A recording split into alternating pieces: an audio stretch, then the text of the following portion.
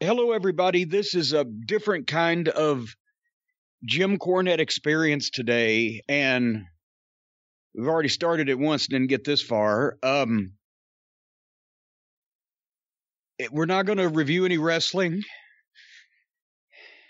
and we're not going to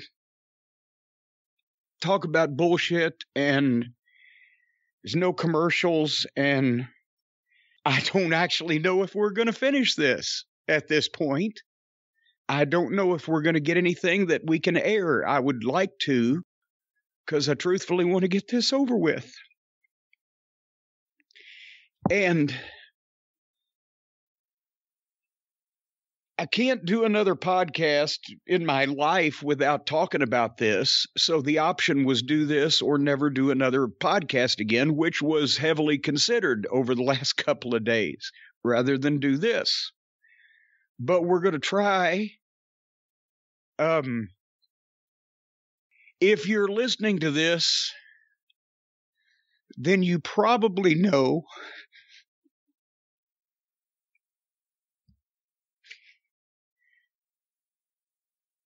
that Bobby Eaton passed away this past Wednesday night. And Eh, obviously, everybody, as soon as they got the news, were on social media and eh, eh, etc. And a lot of people were paying tribute to him.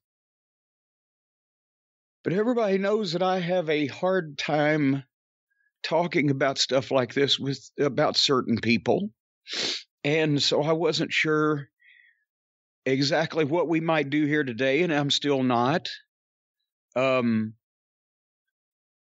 and that's why Brian Last is here to try to keep me on some kind of coherent train of thought, Brian, which you've already lost that battle. Um, but what we're going to try to do, because the words that I just got out may have been the hardest, we're going to, I'm not going to say those again, but we're going to try to just talk today about Bobby and what he meant to everybody and some of the cool things about him and how much that he helped not only me, but a lot of people and the, the respect that they had for him. And Brian, I'll let you talk in a minute, but uh, obviously a lot of people are like, what happened? What happened? well, uh, we already talked about on the shows here last month.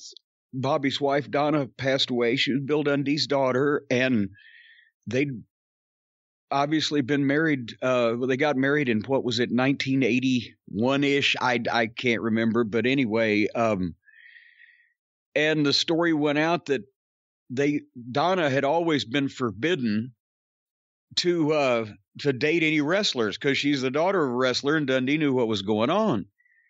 And then he found out without finding out who it was, just that she'd been behind his back, she'd been seeing one of the boys, and she, he's like, "Who is? I'm gonna kill the motherfucker." And she says, "Bobby Eaton," and he was, like, uh, "Well, all right, God damn it! If you had to pick one, you picked the right one." And so Donna had passed away. She'd had breast cancer uh, before, and then it had come back, and it had been, you know, she knew what was going on. Um, but it was just last month, and then a few weeks later, and I don't think we've even talked about this on the show because I didn't want to alarm people. Um, but Bobby had gotten dizzy, fallen some kind of way at at his at his house in Nashville. Uh, his daughter Taryn was moving over from North Carolina to uh, to live there so that she could monitor Bobby's medicines and you know the issues he's had. We everybody knows he's had so many health issues. He's had a couple of heart attacks. He had a pacemaker put in. He was diabetic. Um, I mean, honestly, like most of the boys uh, his age that have worked for so long, he'd been having issues back and forth with his memory and uh, maybe you know it, wasn't a serious situation you know all the time but you know point is needed somebody to make sure he was taking his medicine etc taryn was in the process of moving over i think she completed that but anyway they took him to the hospital because he fell and banged himself up and he was dizzy and they couldn't get him up right so um they kept him uh, for I guess he was there for about 10 days because they were monitoring his uh, various signs. Um, they even at at one point they asked him what kind of pacemaker he had, and he uh, it might as well have asked him, you know, what battery they use on the Challenger space shuttle, right? He, I, I, you know, and they I think they called the hospital over in Jonesboro where he'd got it, and but at one point also they'd mentioned that they uh, and I was getting this from, Bobby told me a little bit on times I talked to him, but his friend Brian Thompson went over and saw him and and got some of this information, and I'm trying to relay it properly. But they had mentioned they might send him to a from the hospital to a physical rehab center because of his hip. They were concerned about his hip in the fall. But I still, as as we were thinking about it further, I don't know whether he injured his hip, particularly in that fall, or whether they just actually X-rayed Bobby Eaton and said, "My God, how are what's the matter here? How are you walking? We need to do something immediately." I don't know, right? Um, eh, but at any rate, then they decided to uh, send him home and have a physical therapist come to his house uh, to work on his hip and etc. And they revamped his medicines and sent him home on Saturday afternoon. And I talked to him right as they were. Well, like, well, Corn, they're going to let me go home. I'm going to get off of here. Um, and he has been there with you know his daughter and I think grandson is there, and people you know been he's been on the medicine. People were around him. His physical therapist came on Wednesday afternoon and worked with him. And it was like, okay, you know. And then uh, Wednesday night, something happened. So, you know, uh, Brian, say something. Well, obviously, Jim, uh, I don't know how much of it you've seen. I know you've seen some of it, but the outpouring of support and love, the condolences coming in from all across professional wrestling, from fans, from people involved with wrestling companies, from wrestlers. You know, he was one of those guys, especially to a lot of the guys in the locker room of Crockett Promotions, the favorite wrestler of the wrestlers. You know, you hear Ric Flair or any of these guys talk about Bobby Eaton or working with Bobby Eaton, and it says a lot, but, you know, we're not just celebrating Bobby Eaton, the wrestler, Bobby Eaton from the Midnight Express. We're celebrating Bobby Eaton, the person. And you got to, better than anyone, know every side of Bobby Eaton. You got to ride with him. You got to, when you were a photographer, you got to take pictures. And uh, I was actually going to ask you about that because first first time I ever went to court, I went with Bobby Eaton. I wasn't even in the business yet. What happened? I was a witness. what happened? So we're in Rupp Arena in Lexington, Kentucky. One night, it's 1981, and I'm shooting pictures. It's Bobby's in a match with somebody. I can't remember who. It's not pertinent to the fucking story, right? But Dream Machines in the first family, also Jimmy Hart's first family. He's got to do a run in on this match. So they're fucking, they're going into the finish and the shit's going on. Here comes Dream down the aisle hauling ass do this run in, and this big old fucking corn fed farm boy in about the fourth row on the end, got I saw Dream go by and jumped up and fucking waistlock tackled him, trying to keep him from getting in the ring because you know the fucking team, his team was in need, right? The boy he, he had to come to fucking Babyface's rescue. so goddamn. Dream keeps running, but now he's got a guy hanging on him, and the guy's feet are dragging. I looked around and saw this, and here he comes, and Dream is over, leaning behind him, whack, whack, hitting the guy uh, while still running, hitting him to get him to turn loose, right? So he wasn't really punched him in the face or anything. He just whacking on him, and, and the, he lost the guy and rolled in the ring, did the run in. Bobby started to come out, as a matter of fact, to see if he needed any help. And so the cops grabbed the guy, but of course he pressed charges because the Dream Machine beat him up, and me and Bobby were the witnesses. So the court is in Lexington. I think they managed to get it booked or in some kind of way where they were in Louisville here the night before, and then we got to go over the next day to court, right? And that's where the dream that on the trip that gave me the story about now don't don't expose the business. Say what you know tell the truth what happened but nothing about anything you know about whether you know he said it's more important that we protect the ba-. he's the one going to court right? He's more important we protect the business. I, I got you troy right? I, I i got it. But and then bobby because he's a witness but he wanted to dress up. He'd gotten a fucking uh, brand new white shirt, but it was still in the package. So we actually opened it up in the car on the way over there. He put it on and it's like wrinkled because it's all it's literally he's just taking the collar thing and everything. So it looks like it it was carried in his wallet. And none of the three of us, because I hadn't become a manager yet, none of the three of us knew how to tie a tie. We had to stop at a gas station, have the fucking gas station guy tie uh, the fucking. I think Dream didn't have a shirt that he could fucking wear a tie with. I don't. Anyway, um, and that, and so we and he got off. It was it was uh, self defense on the part of the Dream Machine, and and thankfully they didn't ask Bobby a lot of questions. I was going to say, what was Bobby like on the stand? Well, it was just, he looked out and saw, yeah, the guy tackled him. You know, guy tackled him. Uh, he was just trying to get away. That was it wasn't like he was you know the attorneys tell fucking when you're giving testimony don't give too many details. They didn't have to worry with Bobby. He stuck straight to the meat of the matter. He just tried to get away. I was going to ask you before and you know I would love to hear what you want to say about Bobby's early days, how he got into the business, because, you know, one of the great mysteries is how did he end up so good?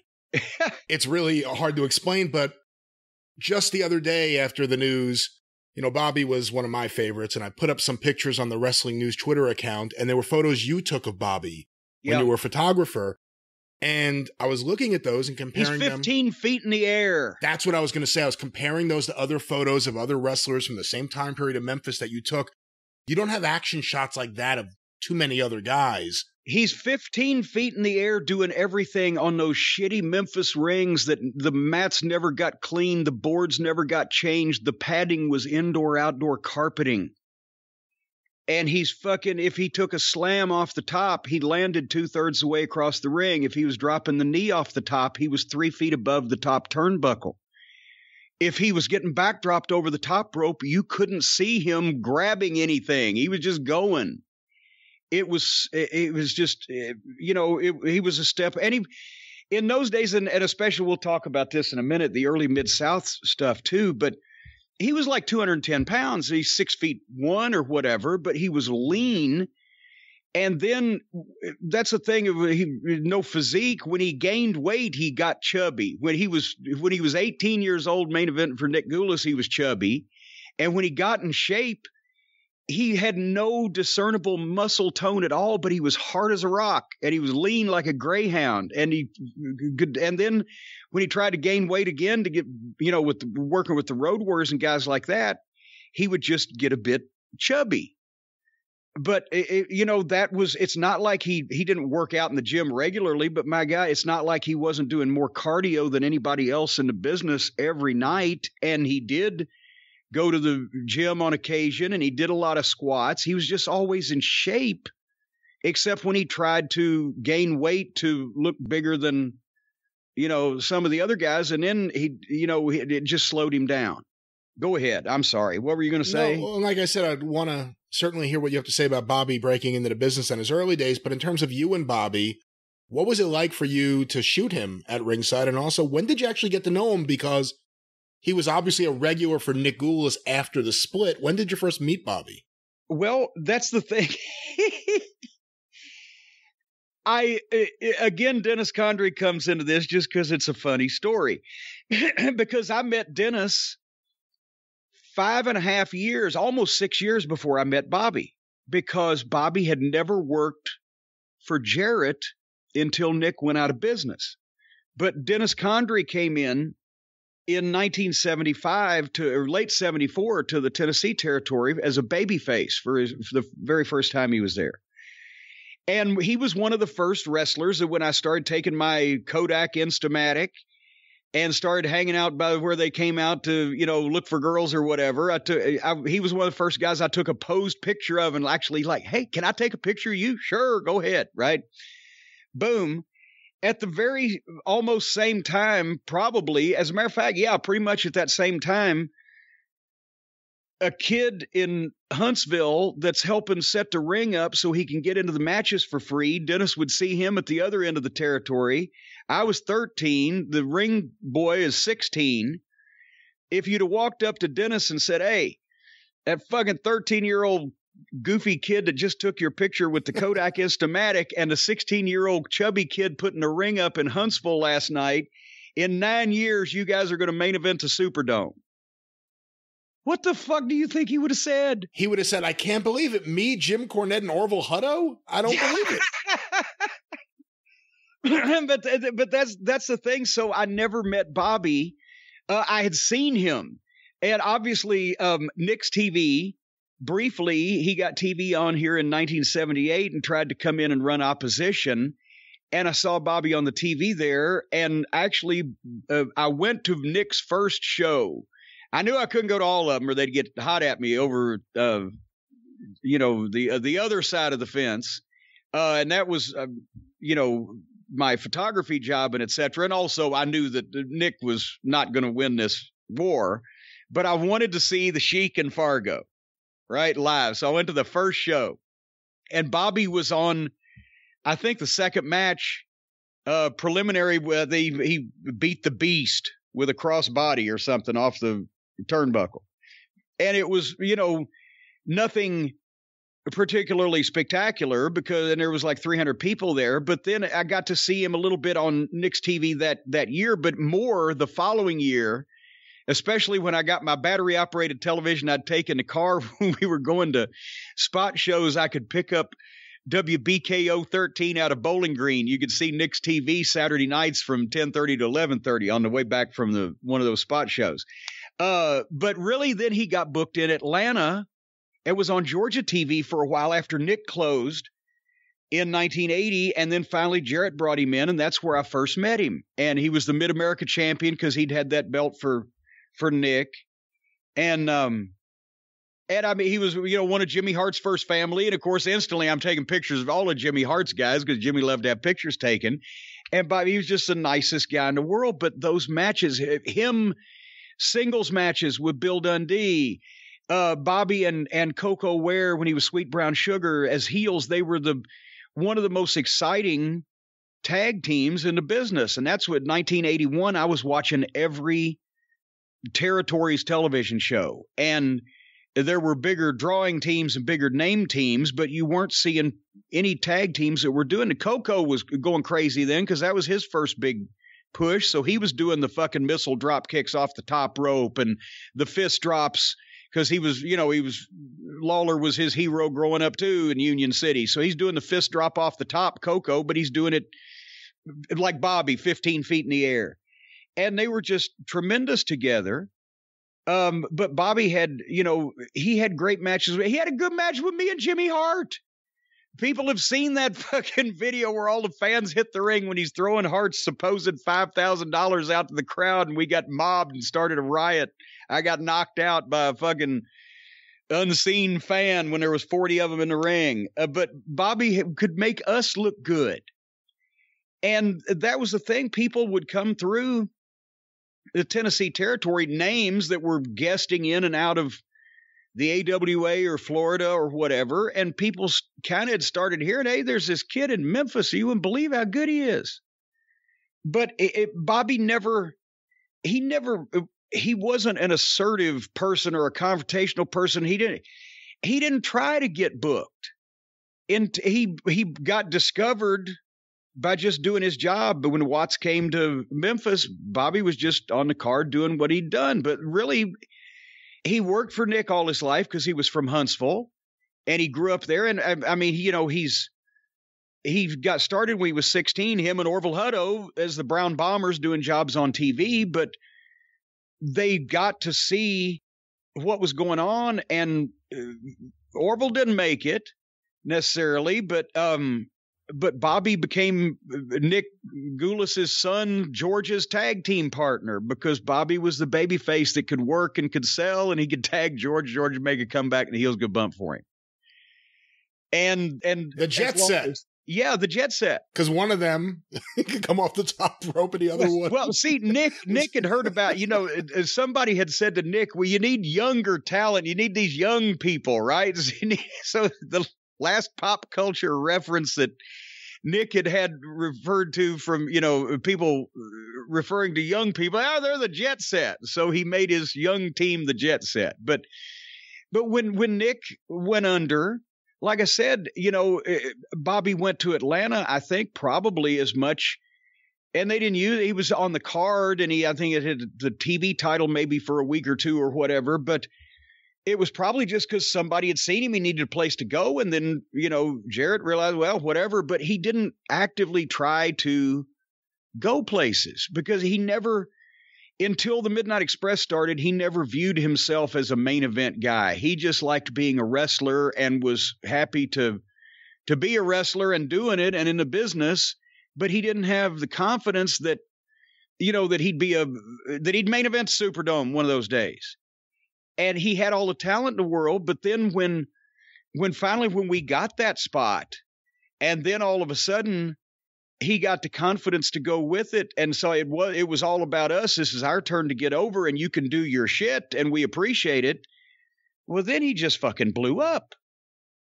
And and you know that's uh, well, some of the people that tweeted, um, Ric Flair not only did he tweet about Bobby, but also uh, uh this Ric Flair in 1989 was not only the world champion, he was the booker in WCW. He was in charge of of matchmaking for fuck's sake. He'd uh, in 1989 he had worked a program with Ricky Steamboat. He'd worked a program with Terry Funk. He's fixed to go into a program with Sting before Sting got hurt later on. Um, but he's the booker also. And when he wants to defend the world title on television just for ratings and to have a good match and show that WCW is a superior product to the WWF, he picked Bobby Eaton. And, and and not only did he pick Bobby, he didn't want to beat him. And even us, I, am on the fucking booking team with Ric. I said, what he told me, he said, we'll do a DQ. I said, what? He said, I don't need to beat him. I said, but, but Ric, you know, it, he said, no, he didn't want to beat Bobby. He just, he had never had a chance to have a singles match with Bobby. And of anybody on the roster at the time in, what was it, December of 1989, Ric Flair wanted to wrestle Bobby Eaton and didn't want to beat him on TV when he was world champion. And as I've told the story, then Herd got hot. How did Bobby Eaton get a title match? He drop in out of a helicopter and then you couldn't even beat him? So then Flair said, "All right," and and I pitched him the idea to be honest with you, because Flair said, "I'll work with him again. I'll, this time I'll beat him." I said, "I got an idea. Beat all of us up. Make the old fart happy." So we did the rematch, and he not only jerked me in the ring, grabbed, hit me with my own racket, knocked me out, fucking hit Stan, knocked him out, and fucking hit Bobby with a racket, knocked him out, and fucking pinned it one, two, three and I don't think Herd was still happy about that. But it, but then that's he that's the extent that Flair resented that anybody would question why he would want to work with Bobby Eaton on. And by the way, from the Midnight Express scrapbook, the first uh, Flair versus Eaton match we did in Columbus, Ohio, on actually November twentieth, nineteen eighty nine, and it was the Sunday night main event show, which, as you'll recall, Brian, was on TBS on Sunday nights at 6 o'clock Eastern, 3, p- 3 p.m. Sunday afternoon on the West Coast, right? It did a 3.3 rating, a 5.6 share, and was seen in 1.1,732,000 homes. And in 89, they figured what? Just under or just over two people per home. So, say three and a half million people and it was the highest rated Sunday TBS show in a year with a cold match with Ric Flair and Bobby Eaton that Jim Herd got hot about. So, had the rematch, And we did that in fucking brutally cold, goddamn miserable Peoria, Illinois on December 14th. And that match I just described, and that did a 3.2 rating, a 5.0 share in 1,667,000 homes, the highest rated Sunday night TBS wrestling program since the previous Ric Flair Bobby Eaton match. And anyway, um, but not only Flair. Uh, somebody actually retweeted a clip of the match that I'd forgotten about. I remembered at the time, I forgot about it since been 25 or more years. But remember Randy Savage versus Bobby Eaton on WCW syndication in its dying days of its syndicated show, where it was all the stars were getting fucking four minute squashes or whatever over whoever. And that's where they weren't using Bobby at the time well but he gets booked with Randy Savage, and Savage works competitive with him and fucking che- heals him to fucking beat him. Because it was Bobby Eaton. He and I, we've talked about how business Randy Savage was when he came to Knoxville, things he did for me, and what he would do something that was right for the business. But he wasn't going to go treat Bobby Eaton like a job guy because it was what 1979. So that been 15 years before that nobody in wrestling would hire Randy Savage except for Nick Gulas, and he and Bobby Eaton were doing our Broadways in front of no people over the Mid America title, having some of the best matches in the business, and you know, 300 people seeing them. Yeah, in the 80s, when Savage was doing revolutionary stuff in the WWF and Bobby was doing revolutionary stuff in Crockett Promotions, they stole it from each other. That's what I was going to ask. How much of that was stuff they learned against each other working for Gulas? Well, Bobby was mad because he could never do correctly or felt proper about doing it. The thing where you grab the guy's hair that Savage would do, you grab the guy's hair and you run across the ring, jump over the top rope, and spring his neck on the yeah. fucking rope. He said, "Yeah." One time in the car, he said, "Goddamn, corny." He said, "I could never get that." He said, "Fucking Savage, I could never get that." But also, think about what was Savage's fucking premier deal: the elbow off the top it was a great elbow and, and it was definitely stiffer than Bobby's, but Savage couldn't come off the top like Bobby Eaton could. But they were eh, except for that double sledge off the top to the floor, which is why that Savage ended up having more knee problems than Bobby did. But they fucking they invented that shit with each other a lot of it when they were working those matches. Because who else was Savage going to do a lot of that stuff with at that point in time? It's amazing how many of the best guys of the '80s came out of really Gulas at the end right? Terry Gordy, Randy Savage, yep. Bobby Eaton. Well, you can't you can't really give uh, Nick credit for Gordy and Hayes because they stopped in there on the way to uh, on the way to Jarrett and then really mid South where they got over. But that's where Bobby met Terry and Michael, and they used to ride around together. He told one time when he went to Georgia, he'd already known him from up there, right? And, and fucking they're they're driving back from a town in Georgia. Bobby Eaton, Terry Gordy, Michael Hayes, Buddy Roberts. And there's beer cans, literally, especially in the back seat, he said, up to people's fucking knees, empty beer cans. And they get pulled over for speeding by the cops, and uh, the fucking cop comes up on the side of the road, and I don't, it might have been Gordy driving, I don't know, but he opened the door. And when he opened the fucking driver's door to get out to meet the cop. Not only did all those beer cans start falling out onto the fucking pavement, but the whole interior door panel of his old beat up fucking Cadillac it fell out in the fucking street. And the cop looked at it, and there's the fabulous Freebirds. They're on goddamn Atlanta TV, right? And is like, fuck you guys. Just get the fuck out of here. It's my county, right? He didn't even give him a ticket, which would happen back in those days. Hey, you, you bring um, up Georgia. I actually found one of the first photos that Gene Gordon sent to the Wrestling News of Bobby Eaton when he got to Georgia. And the caption that Gene Gordon wrote is Bobby Eaton, who is from Nashville, Tennessee, a young mat ace who is rapidly gaining recognition in Georgia rings. Photo by Gene Gordon, March 1981.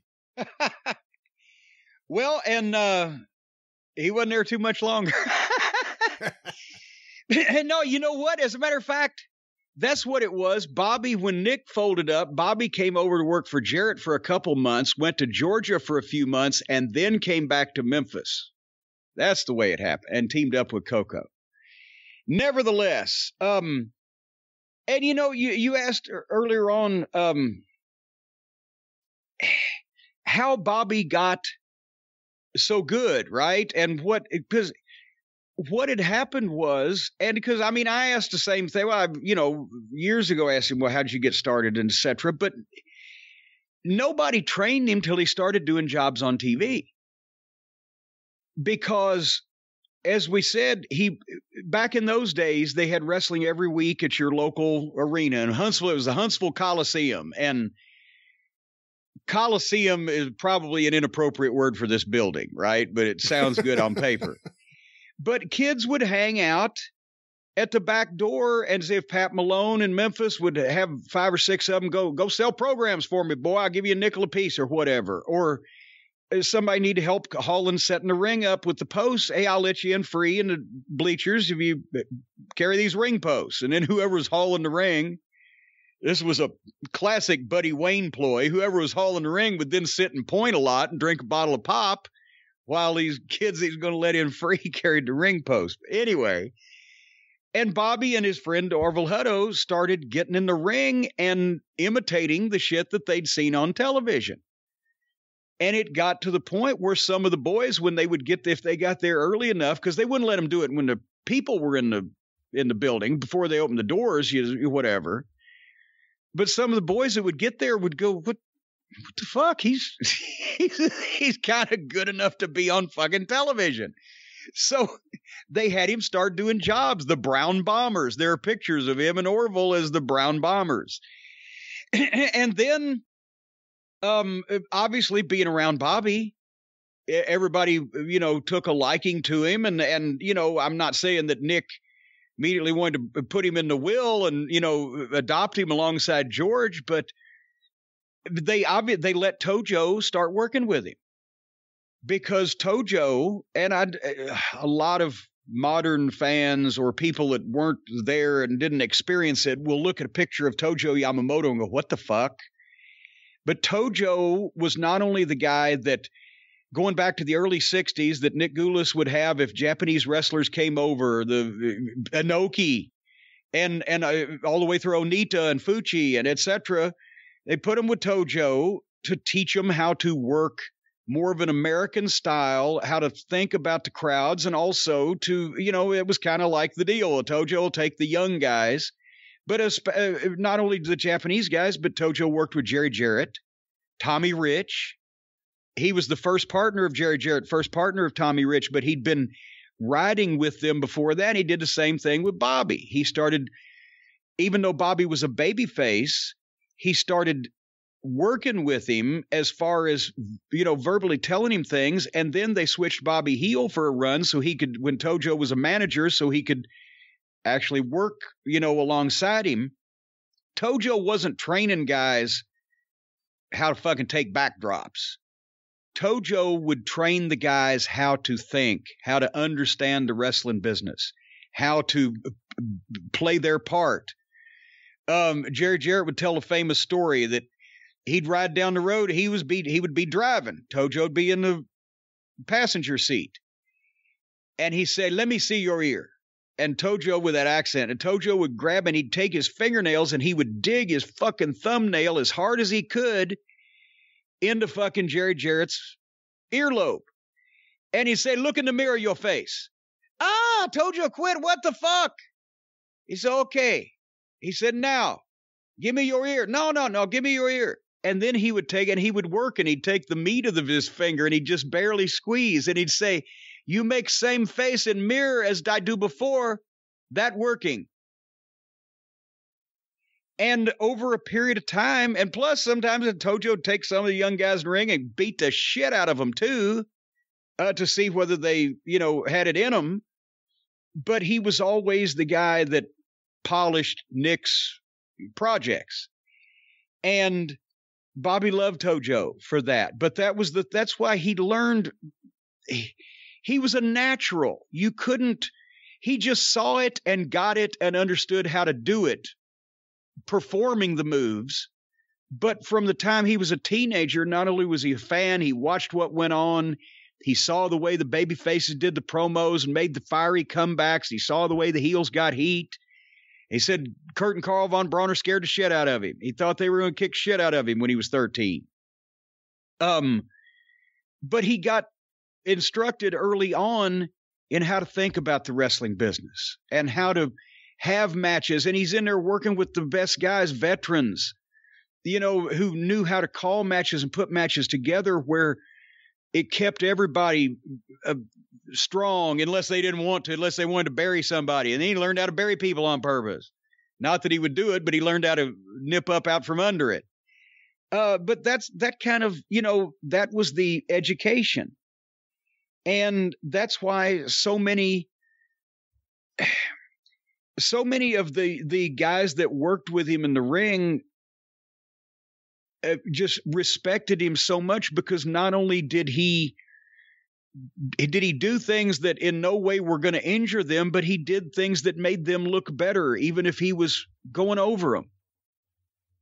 And that wasn't the case, you know, with a lot of guys. Um, and you know, that's when I talk about the education that some of the modern guys miss, and I'm not even being ornery now. I'm just that's the kind of education that a lot of the guys miss and you can't get, and it's been misinterpreted or etc. But but I'm not going to be ornery today. And as a matter of fact, I want to say this also. Um, a lot of people tweeted, including the folks at AEW, tweeted a nice graphic and a respectful message about Bobby, and I know that some of the AEW personnel in various positions listen to the show, and I'm not. That's not a snide comment either.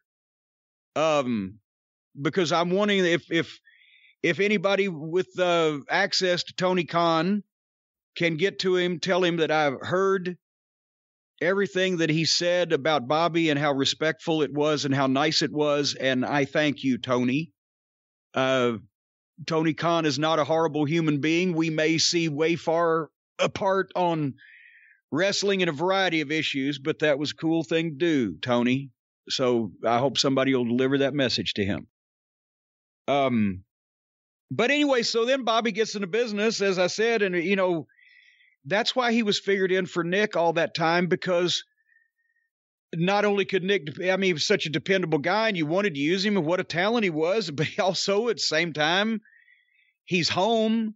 He's, he doesn't want to leave. He's not trying to leave. He's not trying to hold anybody up. You know, Bobby just wanted to be a wrestler. And that, uh, until the, until we got the spot in the Midnight Express, I don't, he never realized how valuable he was or how good he was or that he was a top guy. Uh, he wouldn't put himself, uh, Uh, you know, me, Bobby Eaton, I'm on the same plane as the Road Warriors or this or that. But, but he started to get an idea of how to carry himself and gave him even more confidence when we got the spot with the Midnight Express. Well, speaking of that spot with the Midnight Express, I am curious about another thing you were relatively new to the performance side of the business. You got involved in 82. You guys go to Mid South at the end of 83. Dennis had been a veteran. He'd been around for years all over the South. Every, really every promotion in the South Dennis had worked for. Bobby, similar thing. I can't think of where either guy would have worked, and you'll correct me where I'm wrong, where they had killer road trips. What was the adjustment to Mid South like for the three of you? Well, um, well, first of all, Dennis had not worked all over the South. Think about this. And this is another reason why and it's a shame that Dennis is so underappreciated today. And also, he left right before the pay per view era where those big main event matches and quality video would be replayed over and over.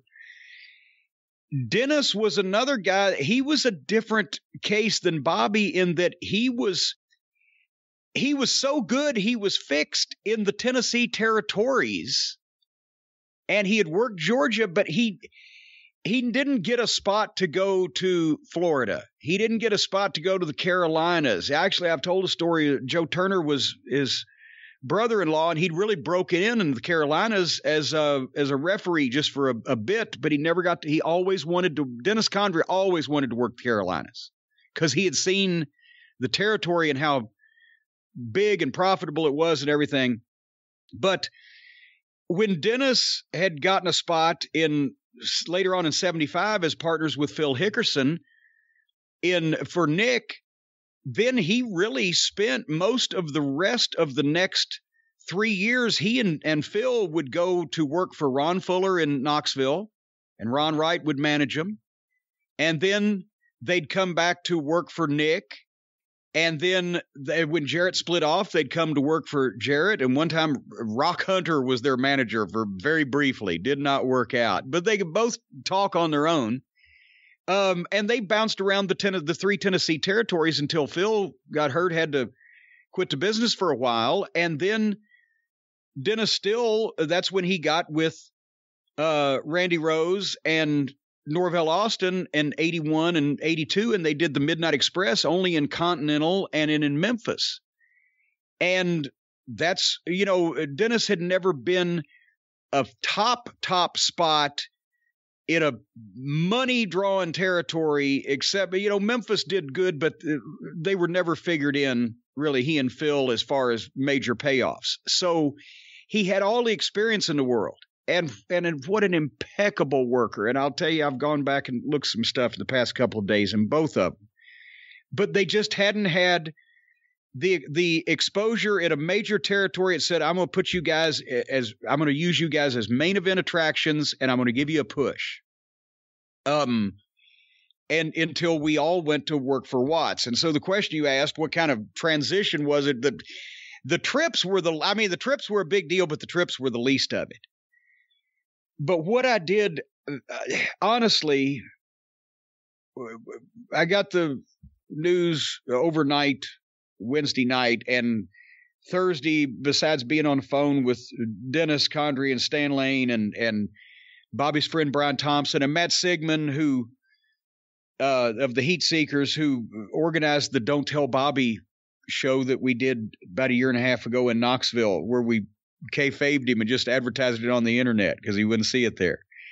Um, I talked to those guys, and and by the way, and Matt Sigmund was behind the go. There was a GoFundMe that was put up uh, for about I don't even know if it was up for 24 hours, and that was by Matt Sigmund, and it's for Bobby's funeral expenses and any medical and uh, money. Rest of the money would be going to the kids, whatever. But they took it down after only a day because I think they were wanting 10 grand and they got over 20 that quick. And they took it down because at first the kids had had not wanted any you know type of fundraiser or thing or whatever and and Dundee's going to be pitching in but then when they were Matt said, "No, we want to do it, and everybody wants to do it." But then they took it down. Point being, after they'd raised over over twice as much as they were looking for, because they didn't want it to look like they were just trying to raise money. And uh, you know, and and honestly, I bet they would have got a hundred thousand dollars. And it's you know, it's not like it was a shady deal. So I wish they'd have left it up. But that just goes to show you they didn't they didn't want anybody to have a ill memory of anything Bobby was associated with. Anyway, where was I going with all of this? What was I saying? Oh, so we went to Louisiana. And that was the thing. Eh, eh, after I talked to those people the other day, a fan here several years ago had gotten me a 30 something disc Midnight Express compilation. And it's in fairly chronological order, start to finish. And and I mentioned on the drive through that we did this earlier this week. Stacey's in California because her mother's had heart surgery and she's doing better and fine and appreciates everybody talking about that. And then I hurt my back, although on further reflection, it is my hip that I've had issues with before in a major way. And and so since I it was a struggle to walk from room to room and I couldn't get in any position besides flat that wasn't painful, I said, I'm going to watch these DVDs and curl up on the bed with Harley Quinn. And that's where I realized because uh, when you look at something, even that yeah, we, I was there, I was in the middle of it, but it's 38 years later, seven years later, whatever. And you look at things with fresh eyes and you understand things better. And I realize now that for one thing, I sucked when I got to Mid South. For me. And I don't mean this to sound egotistical, but yes, everybody's like, oh, that kid, he can talk his ass off. No, it wasn't. I am shooting holes in a lot of my promos in Mid South. And, eh, but it, it, if I could have, if I could have gone to Mid South like I was when I went to Dallas a year later after having that course in wrestling from Bobby and Dennis and Bill Watts and Bill Dundee, I believe they probably would have killed me. Because I started kind of figuring out how to fucking actually do this right for me. But anyway, all of us, and Bobby in particular, realized that this was a big opportunity because I mean, me, I've only been to business 16 months. So I'm like, somebody else besides who I was just working for wants me. That's a big opportunity. Uh, but Dennis knew, especially, that he'd been around that long and no promoter of that level had ever come and said, I'm going to build around you. We're going to give you a push. You are going to be a main event fucking talent. We're going to protect you. so as I said, Dennis's work was always impeccable. It was never flashy and it wasn't big things. It was always being in the right place, never being lost, never making a mistake, uh, the timing, the uh, etc., and the psychology. And he was the one that was telling both of us how to think. But going back and watching Bobby, it was incredible because I'd seen him have all these matches in Memphis and I knew what he could do, but I'd never seen him do all of it that much, that well, in front of that many people. He was just on every night and watching the crowd react to or the crowds on these videos. Like I've, one of our first matches, and probably the first time he dropped a knee off the top rope in Houston at Sam Houston Coliseum was against Magnum TA and Wrestling 2 in that program. And the people are already, you know, hot into it and they're reacting and it's Houston, it's a hot crowd anyway. But Brian, you know the you know the the pop that they get now these days when you show a video where somebody fucks up and misses a dive or fall uh, it's that person is obviously fucked up. That sound. Not a boo or a yay or a wow, but a oh, like oh shit. You know what I'm talking about course. That was the kind of reaction that Bobby was getting. And this is in Houston, Texas. They've seen all the best talent. They've had weekly or bi weekly matches for 50 years at that point in the Sam Houston Coliseum. Bobby's knee drop off the top rope or some of the other shit, the bumps that he would take, were getting on purpose and done correctly, were getting the pop like, oh, he just fucked that guy up those people had still never seen anything like that. And eh, I mean, you know, with wrestling too, it, it was it was like Bobby and Dennis were both in until we got with the rock and roll. We're both in with guys that they had either ever, never worked with or barely ever worked with before, right? Uh, Dennis had had passing, you know, contact with wrestling too in Georgia or whatever, but um, but it, it, the midnight were having their matches and they were calling the matches because it was it was the midnight's job to get over. But at the same time they were going in with guys like Magnum who was so green. I'm watching now and and some of the things I haven't seen for 30 years I'm seeing Magnum being totally lost and just actually turn around at one point out of frustration. You just walk out of the ring and get back on the apron. He got just everybody else is where they're supposed to be, and he just got lost. It's oh fuck it, I'm just leaving. But he'd only been in business a year and a half, right? He's in the main events. People loved him, but he's green. But they're calling these matches for these guys they've never worked with and never been with it, eh, it, eh, to do all of their all of those guys' stuff to them and taking bumps for it and getting those guys over. And in the process, Dennis explained it. We get over by getting the match over. And then, uh, good Lord, there's a goddamn giant motorcycle rally with police escorts going down the street outside the castle here. Um, Dennis's philosophy was we go out and we get over by getting the match over and then getting the heat at the end. Whether it's because we fucked them on the finish, or if we put them over, we get heat after, or the obviously I go out on TV and get the heat back verbally.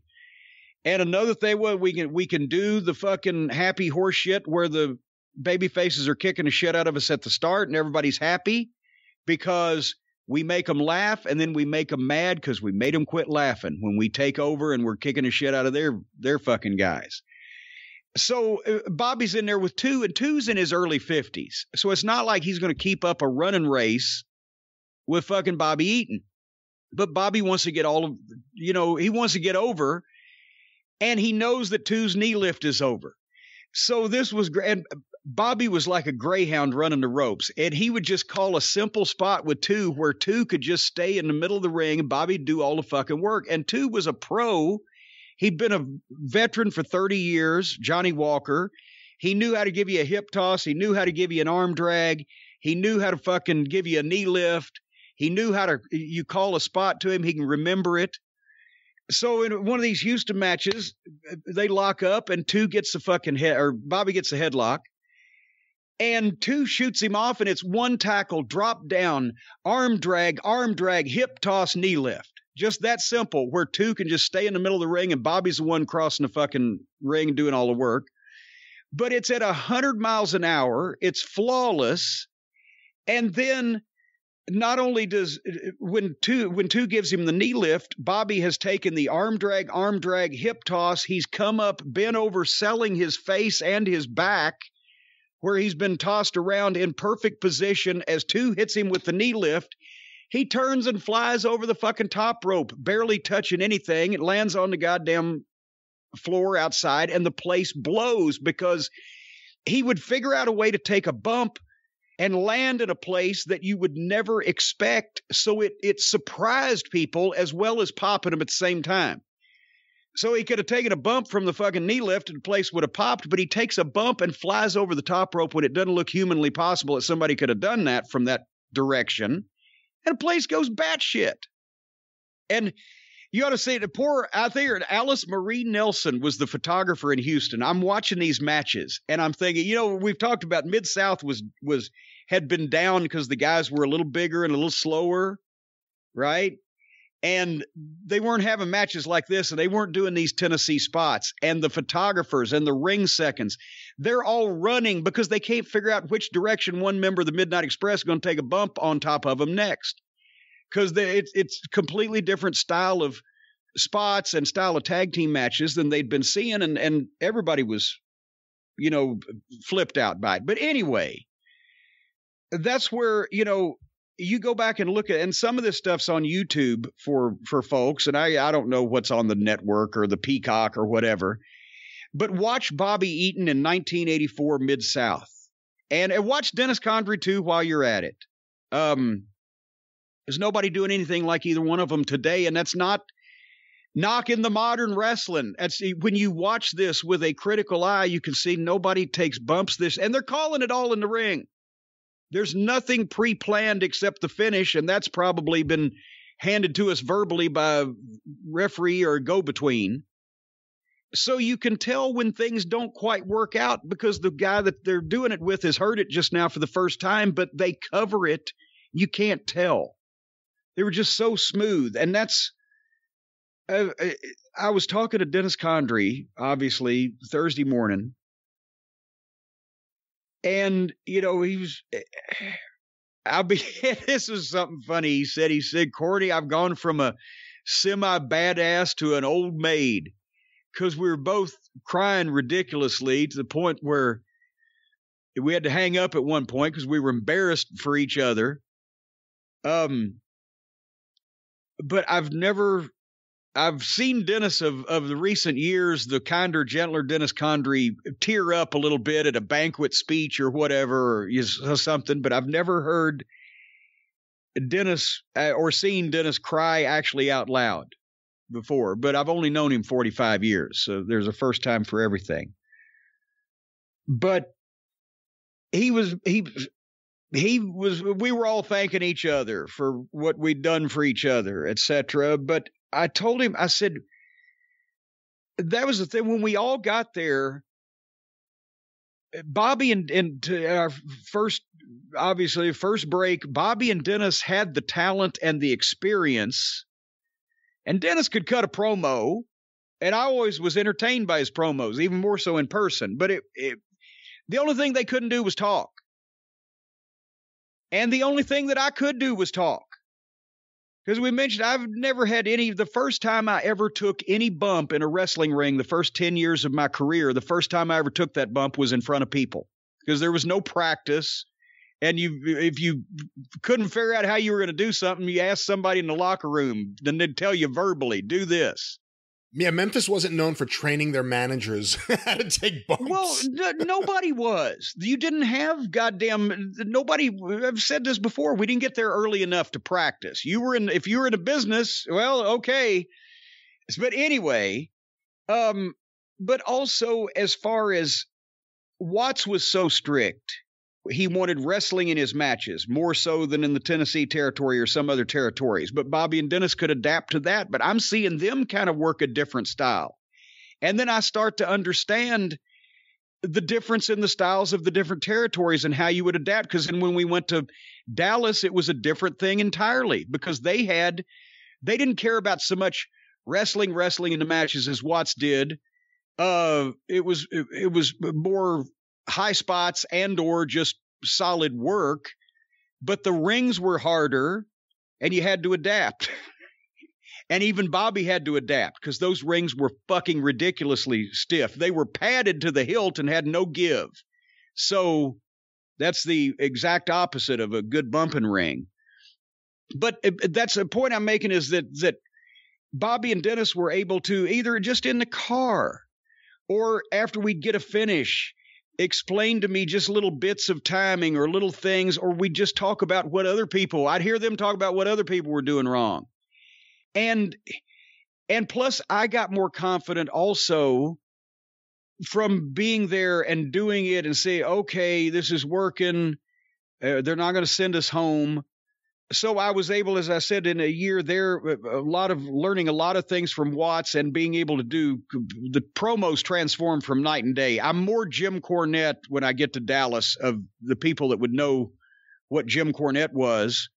And really, the Midnight Express was more as well because they'd had that, we'd ha- all had that year to, to not only figure each other out, but them to help bring me along because I knew how to talk and almost nothing else about serious in ring psychology or how to put the matches together or what the fuck's stupid to do or not to do.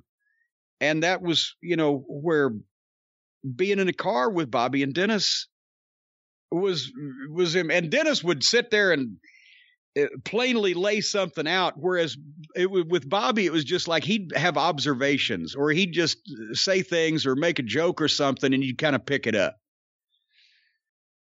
you know, one of the great things about Mid South in 84 was the introduction of Power Pro Wrestling, which meant house show matches got on TV.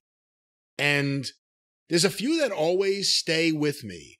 Maybe because parts of those matches were used in the opening of the show eventually, but it's two Bobby bumps. One is simple, just him selling a punch. And the way he would grab his jaw and kind of go onto one foot for a second, it was yeah. perfect. And the other was I don't remember if it had the orange canvas or not, but it was a Jim Duggan clothesline to Bobby. The spear. The spear. One of the, wasn't it? Or it was no, it was the clothesline and he went over backwards. He went over backwards. And we've seen yeah. like acrobatic wrestlers do that where it looks flashy, but it looked there. It's so impressive. He knocked him over backwards. It looks like Jim Duggan's power knocked him over backwards. It looks so you know, incredible. You, you know why? Because he did because Jim Duggan's power knocked him over backward. No, it, I've got, uh, I've just watched five matches with Bobby take the bump the exact same way.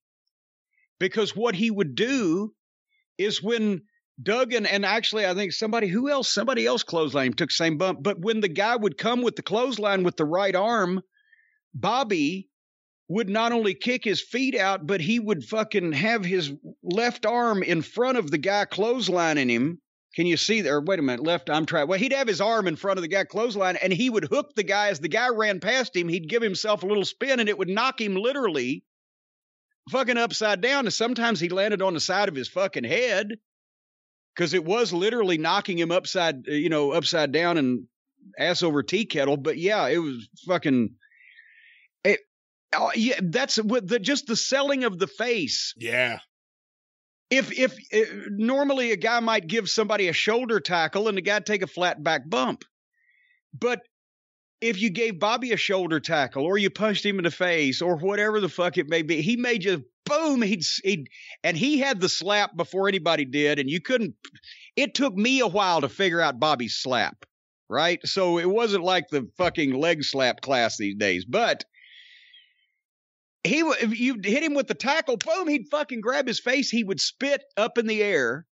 He'd sell his fucking face. His feet would go bing, bing, bing, bing, like he's off balance, and then he would go fucking down to a knee and then bounce to his face. He would take a different kind of bump every time, and it looked like he'd got the shit knocked out of him.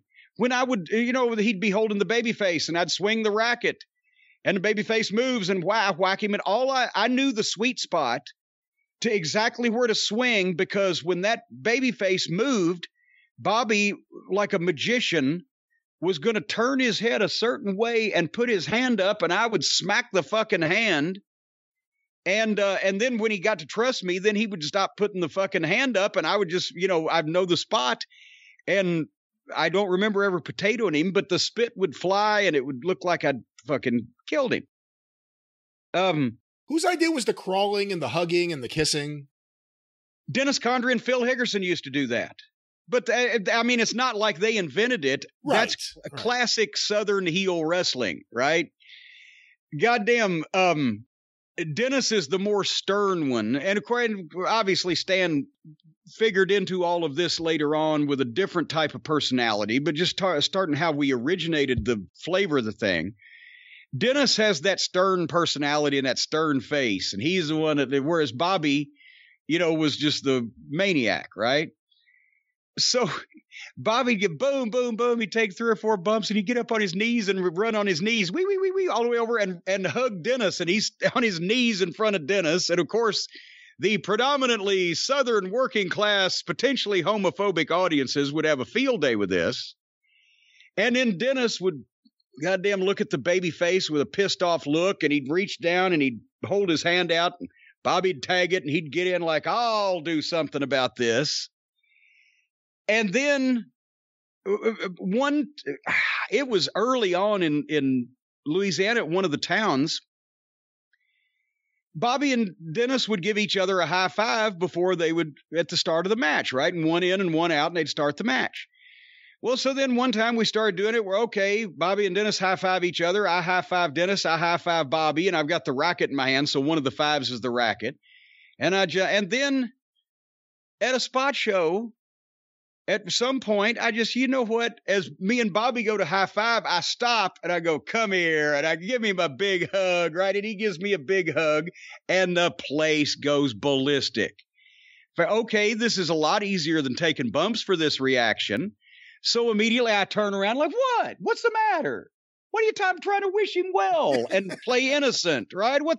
And they're throwing shit. And so it, it, I don't know if it was that night we started doing that for a while, and then one night I added the kiss on the cheek. We go to high five, stop, hug instead. The people are fucking screaming. I'm like, what? What? What's the matter? What's the matter? I'm like, okay, Bobby, go in there and break him in half. And I cup his chin like Christine Jarrett used to with the grip, but not hard, and turn his head and kiss him on the cheek. And my God, I've heard finishes that didn't get that much of a response. And everybody today is going to be saying, oh my God, that's horrible. I'm just telling you what the fucking people did. And what we did in those days was run across shit that people reacted to that we're just doing and do more of it. So that became, and that even, that after Dennis, when Stan became a part of the team, we still did that same pre match thing. Bobby and Dennis, or Bobby and Stan high five, me and Stan high five, me and Bobby, oh, whoops, hug, kiss on the cheek. Go get him, Tiger. What was a tougher move for Bobby? The move from the Tennessee territory to Mid South or the move from Huntsville to the dark side? well, well, see, it didn't pay as well of uh, the move from Huntsville to the dark side, but the move to um but anyway, that's uh and and also you talked about getting a chance to ride with Bobby and and just be around it. The the car trips there were insane and we've told stories. I'm not going to beat everybody up on the horrible trips in mid south, but I've told stories about we would be broke down on the side of the road or with the night we rode to the back of the Baton Rouge Centroplex in a fucking chicken truck with feathers fucking coming off of us. I've told those stories. Um, but just riding with Bobby was better than and, and once again, I was lucky because if if they had all things been equal, Watts had said, Hey, this Jim Cornette, I want to use him as a top manager and just brought me to his territory and stuck me with two guys I didn't know and that didn't also have a vested interest in this working then I would have, you know, been, back in Memphis or back here at home probably in six months. Uh, because I, like I said, I not only did I not know anything, but also if you couldn't have coexisted with people that you needed to work with and ride with in those days in that territory, you were fucked. And a lot of the other guys in those days had had habits that uh, that I would not have been able to coexist with. So it was lucky and and just being able to you know 800 miles in a car with Bobby Eaton there's been worse things to happen.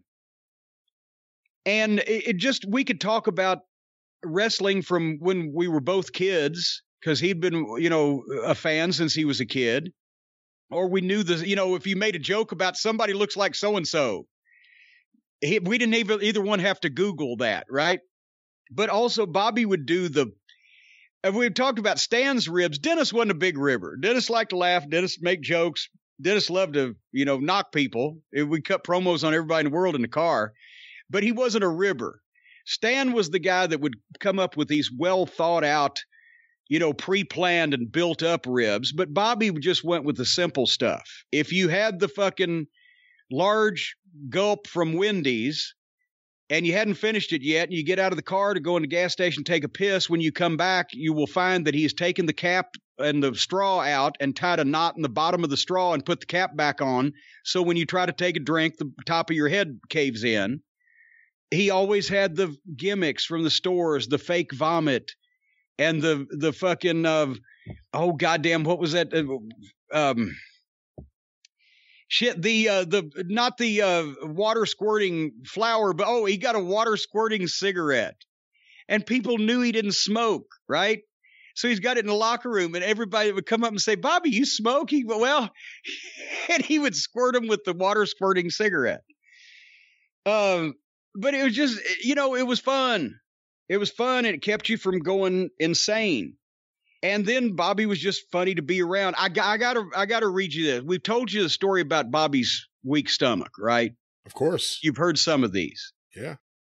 Well, somebody tweeted this, and this is from Arn Anderson, and I it it's actually I think it was in a it's in a magazine, probably the WCW magazines. I don't know how long ago this was, but it's a it was a tweet out of a column of of that magazine.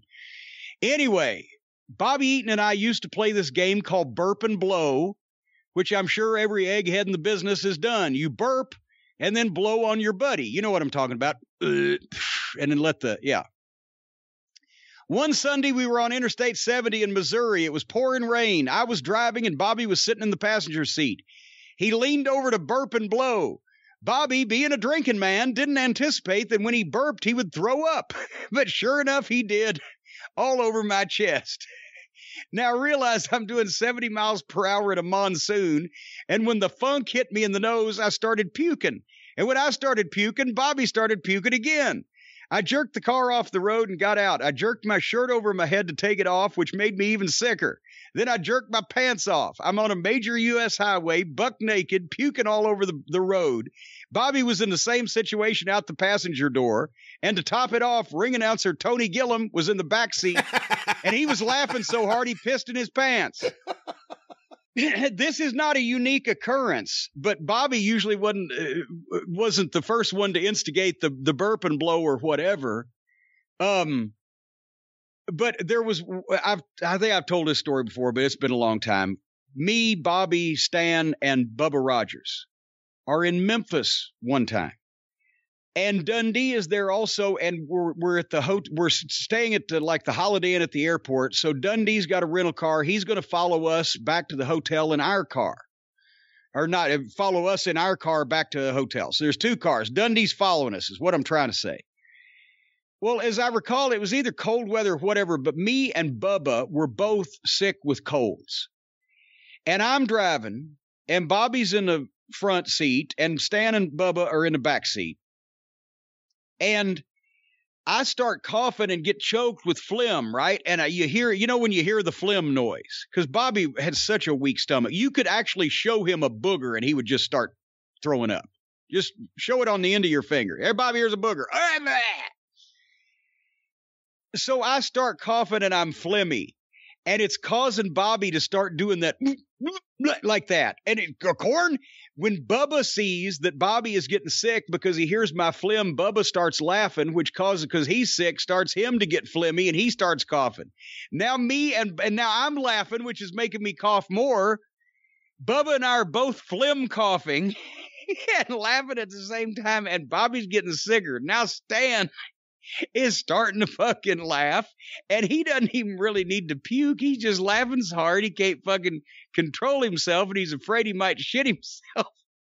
And so Bobby's quarter pull over. I pull over on the side of the road off the interstate. Dundee pulls in behind us, and you see all four doors of our car at the same time opens up, and everybody jumps out and starts throwing up on the ground. Eh, I guess you had to be there. You know, there's um, a reputation Bobby has. You hear guys from WCW. Wait a minute, I'll tell you. I'll tell you one more. Hold on. I'll tell you one more. Yeah. We're in Louisiana with Dennis, and the, the the trip back from Little Rock, Arkansas, to Alexandria, Louisiana, was the worst one in the territory, really, because you left, and I think we were usually there on on Sunday nights, but you left the Barton Coliseum in Little Rock at 10 o'clock at night and you had 275 miles of two lane state highway to drive. So you, it's going to take you five and a half hours at least. You're not going to get back home till 3.34 in the morning. And in those days from the coliseum to get on the highway to go south there was no fast food places open. This was no 24 hour drive through so long story short we would stop at a gas station on the arkansas louisiana state line that had a counter with barbecue, smoked sausage, barbecue sauce, chicken, fried chicken breasts, uh, goddamn tater wedges, the whole nine yards, and stock up for dinner. And they also had a liquor store. And one night, since Bobby was driving, I'm in the back seat. Dennis decides he's going to get a bottle of fucking whiskey. Well, by the time he finishes alternating between the bottle of whiskey and the fucking barbecue we got, he's Barney, he, you're gassed. So Dennis finishes with this box of barbecue and this sauce that we it gave us a big jug of this sauce. And he tried to throw it out the window. And the wind caught it and blew it back in the back seat all over me and all over Bobby's white interior of his car. right? And it looked like I'd been machine gunned. My brains had been blown out. And of course, it, we're still fucking, it's two o'clock in the morning. We're still however far from home. Bobby, the next day, by the time that he had let the, the heat set set in on it, had to get in there and clean all that barbecue sauce. He said he made him puke cleaning up the hot barbecue sauce. And another time, we had the Colonel Sanders gravy and we finished with dumping the dunking the the old Colonel Sanders nuggets in the gravy. I tried to throw my gravy out so we wouldn't spill it in the car, and the wind blew it back in on the steering wheel. And Bobby had just had Taryn, his second baby. And Stan is Stan is I'm sitting there with the shit in front of me, right? all over the steering wheel, and Bobby's looking at it, and Stan from the back seat says, Bobby, that looks like baby shit. He started puking at the KFC gravy because it had been likened to baby shit. Anyway, go ahead. What were you going to say? What I was going to say is he had a reputation you would hear from guys in WCW. He always had a bag with everything you could ever need. was that the case early on? When did that start that he always had so much stuff with him to the point where if anyone in the locker room needed a towel, a piece of gum, whatever it was, he was always ready? Well, he always had big bags and he was always prepared. Um, it, it, it, it, as we started going on the road and being gone more, because like in the Memphis territory, I, and, and another one was Jimmy Hart. Jimmy Hart would come into the towns, and this is when you weren't even staying in a hotel. You're just driving from home and then going back. Jimmy would come in with two bags, three hats on top of his head, holding two canes. Bobby would have a couple of large sized duffel bags anyway, but when we started going on the road and being gone, you know, more more days in a row, it just got ridiculous. Where he was carrying body bags around, and he would pick up if you know extra hotel towels and and or washcloths, but he'd always have a sewing kit because he might need to to you know mend his tights, and well he'd have extra thread in case somebody else needed something. Well then we're doing so much fucking eating on the road and and drive-throughs and everything he's got some cutlery. He's got and, and maybe a salt and pepper shaker we got from Wendy's. He's got the salt and pepper. He's got some cutlery. He's got some napkins. Well, it just it started growing to the point with socks. Everybody always needs some socks. Here, you need some icy hot. You know, eh, he was a convenience store, and it just it just started that way. And by the time that it was, you know, it was over with, everybody knew Bobby, what do you, as the Steiners used to go up and ask him for weird shit just to see how close he could get to it. But that was, you know, and he was always happy. And he'd sew your tights for you if he had time before his match. Um, when did he become such good friends with Arn? Well, uh, uh when we went to um to work for Crockett, it ended up, and I don't know whether this was by design, but I mean, at Arn um he was an easy guy to like. Also, the life of the locker room and you know great jokes and promos and etc. Uh, but it ended up that Arn and Bobby lived in we lived in Pineville, Louisiana. I lived of uh, God, I can't even remember what's what the street was at this point, but I was down about a half a mile and, and to the right two blocks from Bobby, and Arn was down the hill and down the street from Bobby's house, and they lived there next to each other for years and years. So, and just being on the road together all the time, they just naturally gravitated, both of them Southern guys. And so they, you know, they were close friends for a long time, and that's what you know. That's what made that uh, aborted angle we had with Tully and Arn even more attractive. Is we could talk about real shit in it, and you know, friends have split up, and there's jealousy and etc. But I. I mean, it, it, I don't know anybody that wasn't friendly to Bobby except Jim Herd and George Scott. Were the only two, I believe, that ever in history. But but you know that was that was the thing is that with Bobby's work, everybody wanted to be in the ring with him, not only because he was a nice guy, but because he made them look so good and it was so easy and they didn't have to worry about getting hurt and you could have fun. I've told you about him working with Barry Windham, them having the, the doing the matches on their knees. and that just came up as something at a show one night just to keep their, their minds occupied because – well, Barry Windham in 1987 was, if he wasn't the best babyface in ring wrestler in the business, he was close, right? And when we worked with him and Ronnie Garvin, the U.S. Tag Team title matches, I remember, I think it was the first time they did this was in Fayetteville.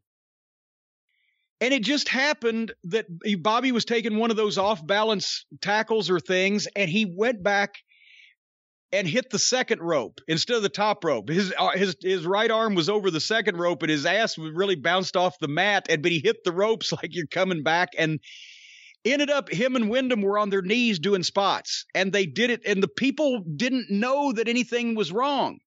That was the beauty. It sounds like silly bullshit, but it would be a deal like if Bobby grabbed a headlock on Barry because Barry was what six six.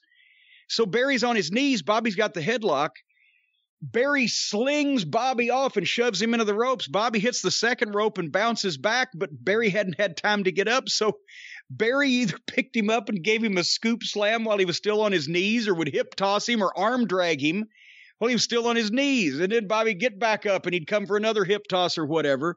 And it looked like Barry was fighting from underneath when trying to get up while Bobby's taking these bumps, but they're having a match on their fucking knees just to make it a little more difficult and keep themselves occupied because the regular shit was too easy for them. And no, and the fans are popping like it's a normal fucking spots in a normal match. They don't notice the difference because they were able to work it into the fucking thing. Who was Bobby's actual favorite guy to work with or team to work with? Uh, I he he probably in his life, I don't think he ever said those words. My favorite so and so to work with or to wrestle or whatever is so because I mean that would be that would be knocking somebody else for one thing, but also he loved working with Ricky and Robert, obviously. He loved working with the Fantastics because they were so easy and they were so adaptable and they were so athletic and they, you know, um, there were guys that he worked. It wasn't easy to work with Dusty with Bobby's style and Dusty's style, it wasn't complimentary to have great art, but at the same time, Bobby loved working with Dusty because he knew how to do it. it was easy, you know, and and it was the main event spot. So, you know, he never had a blow up with anybody like yeah. There was never any Sonny King, Buddy Landel situation, or just like eh, somebody I don't want to be in the ring with them fucking guys. He got he got testy with the Freebirds that time in Boston just because Jimmy Garvin. And he wasn't a fan of working with Samu, Samu and Fatu, the Samoan SWAT team, because of the way that we were being used versus the way they were being used, and not in a jealous way, but in a it was no fun because we couldn't lead the match. We couldn't have a good match. We were just getting a shit kicked out of us, and the matches were not good because of George Scott and that hierarchy. But he didn't hold it against those those guys personally. Um, but I mean, you know, Bob, he obviously liked working with Flair, Windham. He liked eh, eh, one night he told me, see, in Dallas, he said, I like working with Scott Casey. You know, because Scott was old school and liked to lay shit in in safe places and work solid and struggle and shit to some of the things that he didn't get to do when he was getting to do the the high spot matches with Ricky and Robert. Um, but he could do everything, you know, as far as uh, have a match with anybody and do their stuff to to you know, if if they weren't able to do anything else. When was the first time Bobby was frustrated with Crockett Promotions, or if it's after Crockett Promotions was sold? Oh well, I mean, we were frustrated at, at the checks that we were getting in early 1988 just because business was down, but he wasn't it, like wanting to leave or anything. And Matt and that's Crockett when you renegotiated. Just, that's when we renegotiated. And then he was happy until until here came you know uh, Turner Broadcasting, and here came Jim Herd, and here came George Scott. And even then, it, it, I don't think he ever had to pass five words with Jim Herd, and he tried to with George Scott, and George Scott wouldn't speak to him. So he was happy that we were leaving when we were because that first time in early 89 because he thought that like we all did that George Scott would be out and we would come back which is and that's what happened. But then it was just he was the last one to show frustration but even he was grumpy all of 1990 you know whenever uh, the rotating booking committees just when we thought we had something going with you know with Flair then he's he quit and I quit shortly after cuz he quit the booking committee and then multiple hierarchies and you can't win a match on TV and we could never be featured but every time we are you know we're still tearing the house down. It was frustrating. And of course before you officially gave up on the booking there the plan was for Bobby and Stan to join the Horsemen. Yeah and i mean that uh, we got as far as as I've been reminded when they tweeted the first the first interview that we did to lead in that direction, and Flair had woman Nancy with him also, and etc. And we were leading in that direction, and that got cut off. It was just like I, you know. Bobby never complained hardly about anything, but you could just see frustration, and also we'd we'd make jokes about it. You know, like McCorn, go see how many jobs we're going to do tonight at the TV taping or whatever. You know, but uh, but he just he he loved wrestling and he was always happy to be in the business. And even when things weren't working out he could have fun with it. He had fun being around the boys. That was i think that's been the biggest problem of the last you know 20 years of his life or whatever is that you know, that's what he did from the time he was a teenager. He went to the towns, he sat with the boys, he had fun, he laughed, he went out, and he was the best in the world at what he did naturally without you know, I mean, he had verbal training more than he had physical training, but he was just a, a natural and got it and could do it. And that's why, you know, a lot of people said Bobby should have been a, a, a trainer, and they did try him in developmental. And I think he had issues with transitioning anywhere, anything that disrupted his schedule he had you know uh, not schedule but his his routine. It threw him for a loop when stan and i left. He told me you know years later that he he didn't feel right because he had gotten in that groove and he didn't feel right after that. Even though he liked everybody he was working with it just was different. And and with training in develop you could learn a lot from sitting in the locker room with bobby and he by asking him questions or him just saying things or you could learn by watching him but he couldn't he was not a person that was going to get in there and instruct you up one side and down the other because sometimes how does you oh let me go get albert einstein to teach me how to be smart. You kind of got it, it's just it he did it. Yeah I, I always told guys i said and a lot more you can get a lot more out of watching Bobby and seeing what he does than maybe asking him how to do it or why he did it because he doesn't really know. He just does it instinctually. And what the first time he was in OVW training in developmental, and this was over 20 years ago, I, I asked him, I said, We had a crash pad. I didn't want to hurt you. So I said, Bobby, with the crash pad, can you show these guys how to do the knee? And he's, I think I can, you know, because he was having problems bending one of his knees at that point. But he got up there, but he he came off. But he realized he had never paid attention to how he did the knee. To tell somebody, well, when you push off, you know, your left knee, he called it his heavy knee. But Your left knee is going to go a little bit to the side and it's going to land, but this is going to go there. But if you tuck the shoulder, all the shit that I figured out in slow motion by watching him do it, he he just started doing the knee off the top one day and people reacted to it. So he kept doing it. It's not like he ever sat there and thought how do i do this to be able to explain it to somebody else? So 1990 the end of the year you and stan finally have had enough of herd and ole anderson let's be honest. Yeah. And you guys leave even though you're still under contract until i think may. Yeah. Bobby stays. We've talked about in the past how at the time the plans were certainly for a Midnight Express reunion come May, but well, Dusty we had, we, came we back. Had, yeah, we had the conference before me and Stan left in the hallway at center stage because we told we said oh, we can't take it anymore. Well, I said I can't take it anymore. I'm fucking done because I'd call, I'd ask Stan. I said, Stan, give me your car keys. We had his car. I said, I, why? I need to get my bag. I'm fucking going home. Well, fuck, hold on, I'll go with you. But then we turn around and look at Bobby, and Bobby's kind of like, uh, because we had six figure contracts. And Bobby had three kids and was married. Stan was not married. I was married. I was, didn't have any kids and honestly saved a little bit more money at that point and knew I had something going on and was going to figure the midnight in on it with Smoky Mountain Wrestling and the preliminary talks with Rubin and etc. But we said, uh, Bobby, stay and get your money. They at least they can't beat the Midnight Express anymore, and it's it's six months, right? Because we assumed since uh, Herd wasn't going anywhere that we knew of, and nothing was going to change, that they just released Bobby in six months. And as you said, that's when Dusty came back in, and then it ended up they didn't release Bobby until 2000, which was fucking 10 years later.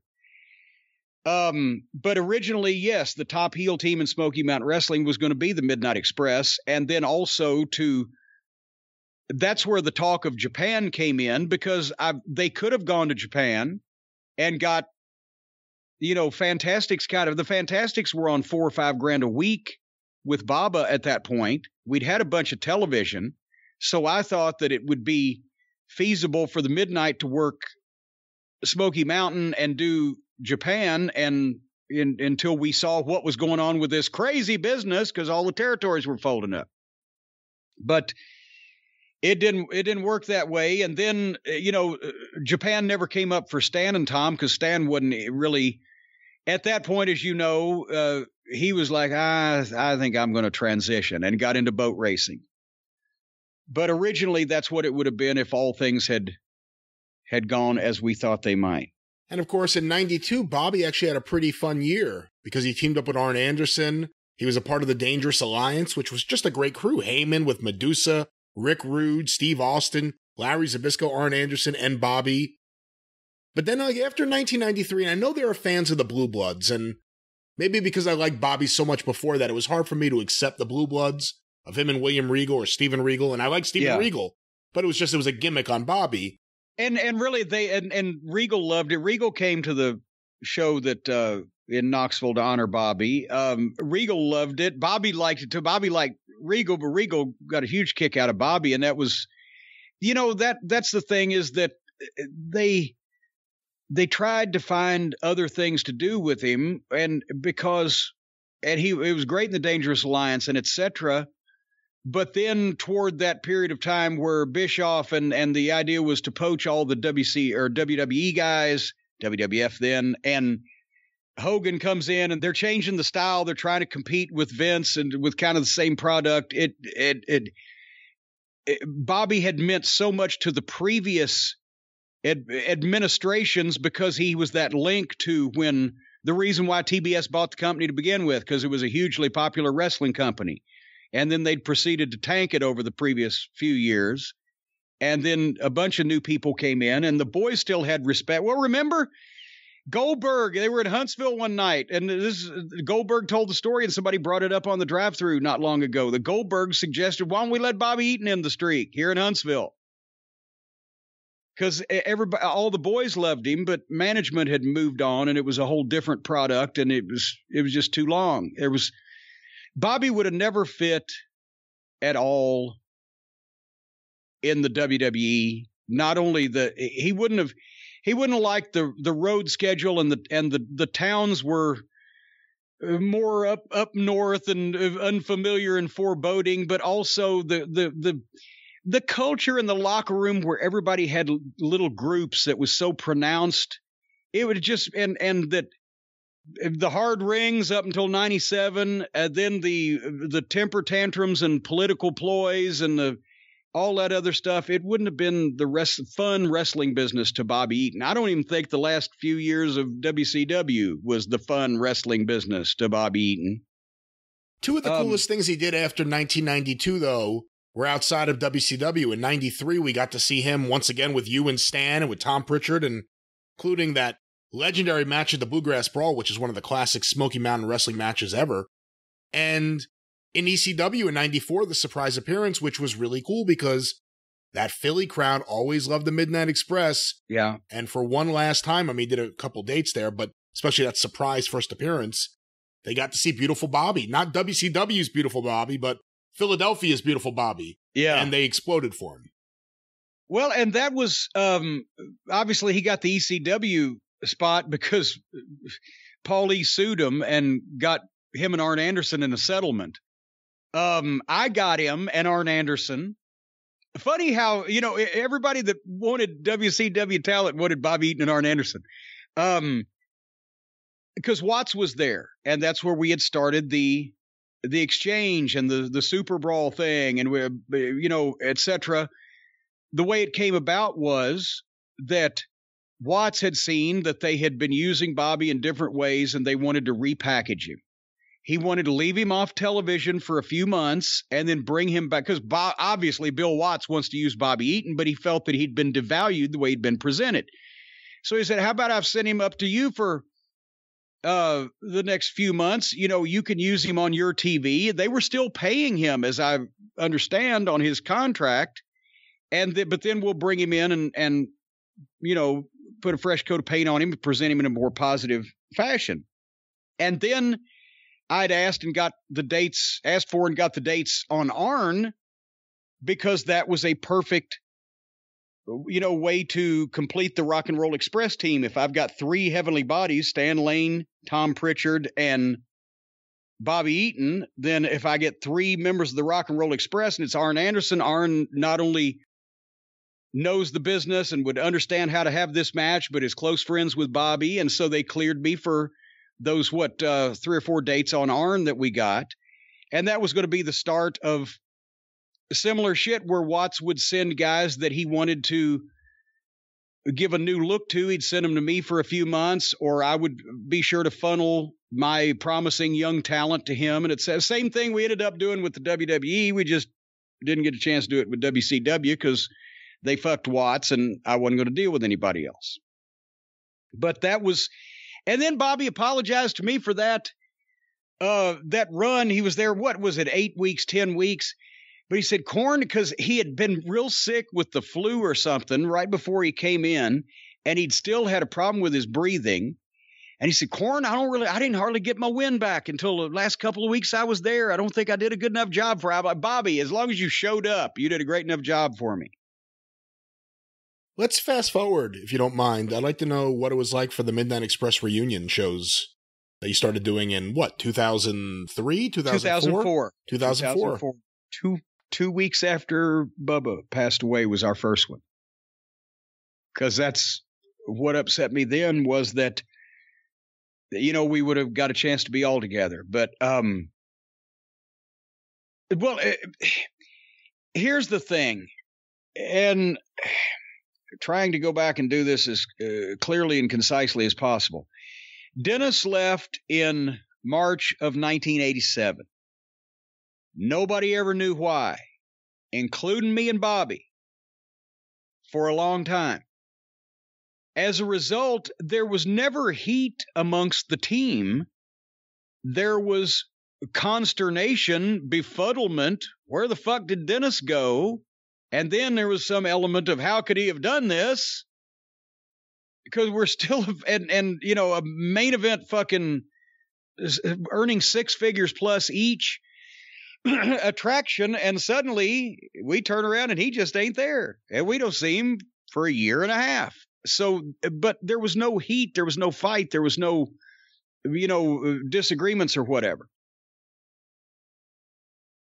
so we soldiered on with Stan, and Stan fit right in because we'd all known each other again, and he was smart to tag team wrestling, and it fit. And he was in need of a spot then, so he was anxious to prove himself because that was it was going to end up being his fairly fairly much his last big run there. Because normally the Fabs was a pretty big run, and you would have thought that would have been the one you get, but he got a second one even bigger. But anyway, um, when Dennis came back the, to do the original midnight midnight angle, as we mentioned, he he showed back up in the AWA back in the wrestling business because when he left us for a year, he was nowhere. We didn't know where he was, and then all that we knew was the travel agent found that he had some tickets that Crockett had already given him for the towns he's booked in, and he changed them for a ticket to Denver, Colorado.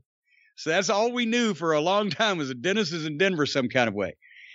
Well, then the AWA had started, they needed talent. They were on their dying days. And they were doing the TV in Las Vegas as close to Denver, and they needed quality guys. So they made a deal with Dennis to come back and work with Randy Rose and Paul Lee as the original Midnight, and they had the run on TV as the AWA Tag Team Champions. We still didn't have a phone number or anything on Dennis, and you know we didn't know at the time, so we're not well, we're not going to fucking find him. But then when you know the AWA was but the the original Midnight, I can't remember now chapter and verse, but the original Midnight was finished with the AWA, even if the AWA wasn't completely finished at that point. Paul Lee had called me, because of course we knew each other, and I said, "Well, you want to fucking come in if we can work it out." And so that's when I went and pitched the angle to Dusty. Um, have them come in. Let's do the feud over the name hit me with the phone. Uh, I've told this story before. Dusty asked me and Bobby. He didn't ask Stan because Stan it wouldn't have had a vested interest in this. He said, I won't bring Dennis Condrey back unless you and Bobby say yes because he left before. I said, no, this is, isn't good. We've, we've talked, uh, I've talked to Paul Lee. They're all on board. And the first time that me and Bobby actually saw Dennis, that time was when he got to Atlanta TV that day. And he still didn't explain to us what had gone on because there was kind of a little cold. But then we did the angle and everybody went crazy over it and blah, blah, blah. We didn't know it was going to be fucked up shortly afterwards. But anyway, that lasted, as we've talked about, 10 or 12 weeks or whatever it was. And then Dusty loses the book. Crockett gets it, books us a loser leave town match because he doesn't like Randy Rose's work, wants to get Dennis a new partner. George Scott comes in, says he'd rather keep the original Midnight and get rid of me and fucking Bobby and Stan. It was a goddamn clusterfuck. And then because Dennis didn't agree to come in for a different partner because Crockett didn't realize that the whole deal was that Randy and Dennis were the original Midnight Express. It fucked the whole thing up, and Dennis no showed again. And we didn't see that was 1989, and we didn't see him again until 2004.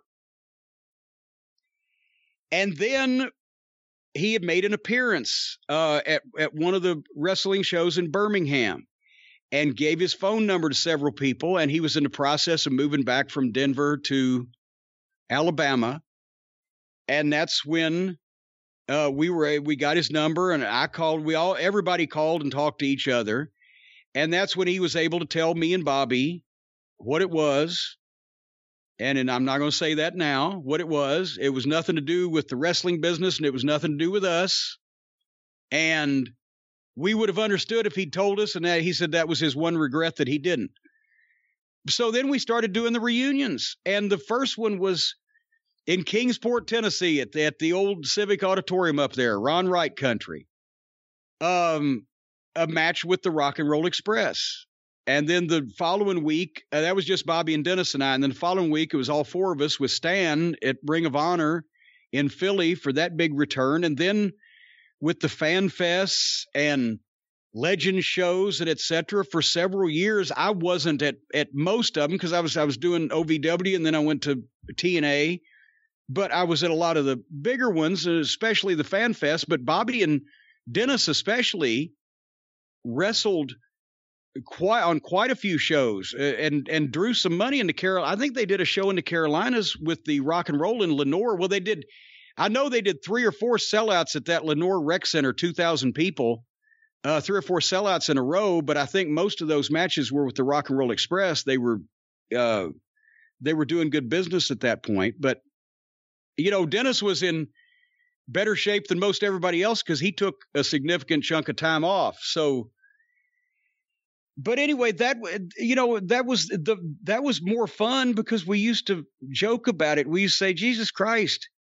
These fan fests, everybody's so happy to see us and so happy to get their pictures taken. And we make the same thing. We used to have to drive a 500 mile round trip, take bumps, get beat up, and potentially stabbed or jumped on by fans, and uh, you know, have our cars trashed. Then the fans at Alexandria, Louisiana, found out after the the uh, tape aired where we tarred and feathered Magnum TA on television in order to shame them into giving us a shot at the titles, calling him a chicken. The fans recognized Bobby's car outside the hotel we were staying at in Alexandria the week after that TV show played, and they tarred and feathered his car. But anyway, uh, so we used to get, oh, in Lake Charles, they took Dennis Condrey's van that he bought from Stan Lane and almost doomed us all. In Lake Charles, they took uh, glue and shot it in all the door keyholes back when your doors still had keyholes. And they took lipstick and they would color over the the headlights so that you couldn't see out on the highway. And that's the place where they used to put uh, Drano and water pistols to be able to, because the cops were so good, they had the heels surrounded, so they would try to shoot you in the eyes with the Drano, with the water pistol. They were creative. But yeah, Bobby, uh, uh, he took forever to get the tar and feathers off his car at Alexandria, and Dennis had to have I can't remember what he had to have done to get the uh, glue out of the keyholes. We all had to get key locking gas ca- tank lids uh, custom on our cars because people would sugar the fucking tank. Jim, I had a question for you, but before I get to that, I just want to let the listeners know, let the people who are on the official Jim Cornette YouTube channel know that we're going to be doing a compilation of some of the great stories you've told in the past about Bobby. We're compiling them, and over the next several days, we hope to have an omnibus of Bobby Eaton stories up on the official Jim Cornette YouTube channel. So be on the lookout for that. And and that and that that's kind of tough because uh, so many of them are sprinkled in and other conversations, but we've you know we've got some good stuff out there, and I don't know whether I've told some of these again today or whether the but we wanted to find some to get as much out there as we could. So there you go. What was your question? Well, I was going to ask you because we've seen a lot of active wrestlers talk about Bobby since his passing, and there are a lot of younger wrestlers out there who may have never worked with Bobby, probably never saw him live. Everything you watch with him, you could learn something. But are there any specific matches or things in matches that you think wrestlers could learn from, that they should be learning from? I think if if if you're a professional wrestler and you want to study Bobby Eaton, there's different eras and different different versions of the Midnight Express. In Louisiana, we were it was an old-fashioned heat territory where we were heels on top, expected to fucking draw and to have heat and to get the baby faces over and it was personal issues and angles and a lot more you know, just wildness in the matches and you can really see the young Bobby Eaton. If you go back and like I said, the the matches with the Rock and Roll Express, a lot of the Houston stuff is still out there because Paul taped his house shows, Paul Boesch.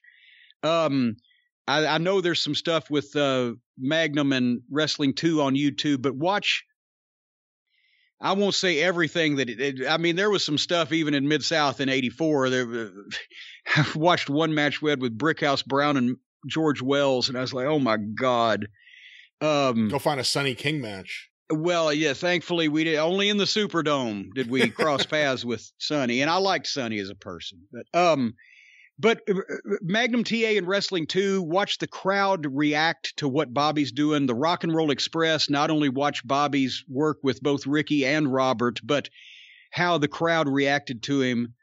Then in in Crockett, it depends on if you do you want to watch you know, it's not as beautiful and technically perfect tag team matches, but that match with the Road Warriors from Raleigh that was on television with Baby Doll punches me in the back of the head, to finish, that one. But it, it shows Bobby working with guys like Hawk and Animal that did absolutely nothing related to his style, but he fit what he did to them. Um, obviously anything in Crockett with the Rock and Roll Express, but also the Southern Boys, Great American Bash. If you want to see how to put a tag team match together that's not a grudge match and it's not a bloody fight, it's just to get people excited in, in an arena. That Southern Boys match was tremendous. All the matches with the Fantastics. Um, and Brian Pillman and Zenk for that matter. Uh, Brian Pillman, the only other guy I was with Flair when he was Booker and I was on his team for six months, and the only two guys he specifically wanted to have singles matches with that he asked for were Bobby Eaton and Brian Pillman. So not only watch the way Bobby did things, but watch the way the people reacted to it because of the way he reacted to what the other guys did. Not just selling, but selling it. The the uh, the the definition of selling something is you make somebody else buy it. The people bought what was going on because he was he made it his own and got it over. Um, so any of those matches, and uh, you know, I mean, there's there's so much out there, but uh, obviously, I wouldn't. I know most of the younger generation, if they saw the Midnight and Rock and Roll in person at all, saw the reunion matches and I'm not going to say those were bad matches because the people in every venue enjoyed seeing it, but what you were getting was, you know, a, a legends match and not all of those guys in their in their prime when they shocked everybody with what was going on. But uh you know that's that's the thing is they could adapt not only the the rock and roll are still going because they they adapted to what they could do rather than you know, uh, trying to do things they couldn't do anymore, and it's so it still worked. And with Ricky, he's, he's insane, but uh, but I would suggest matches like those if you wanted to. Uh, especially all the pay per view stuff is out there, thankfully, you know, from WCW.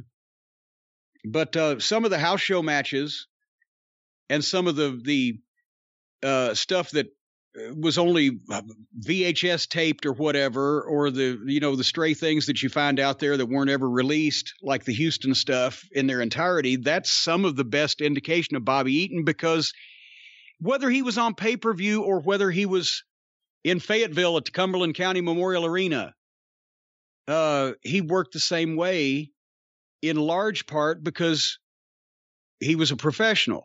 It just, I've told you the story before. I know I've told you this. From the time that we, after we went to, after we were in Louisiana, right? When we got to Crockett was really when I started doing this a lot, but we started a little bit in Louisiana.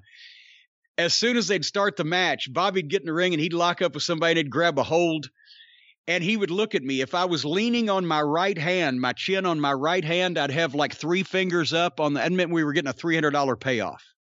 And he might crank up on the headlock and call one tackle, drop down, hip toss, get it again. But if I've got all five fingers up, he's going to call, uh oh, one tackle, drop down, hip toss, knee lift over the top rope. and if I'm leaning on my left hand and I've got a one finger up, that means a grand and then he's taking every bump in sight. But he always gave everybody his his best effort. He was just judicious sometimes with how badly he was going to destroy himself. Did he ever mess up the Alabama Jam? You know, there there was, as a matter of fact, there was one. I'll tell you where it was. It was the it was the match with Flair and Windham at the Clash of Champions, where if you notice when he does the Alabama Jam, he doesn't get any height, and he kind of does a double thumbs up kind of maneuver as he's coming off. That's because he had a crossed rib. That now he thought it was broken, but it, it, was crossed. You know, when your rib gets crossed, it Ooh. fucking feels like a broke rib, right? He'd been working with a crossed rib for like a week or two at that so so he didn't get the height on that one, but mess one up, mess anything up.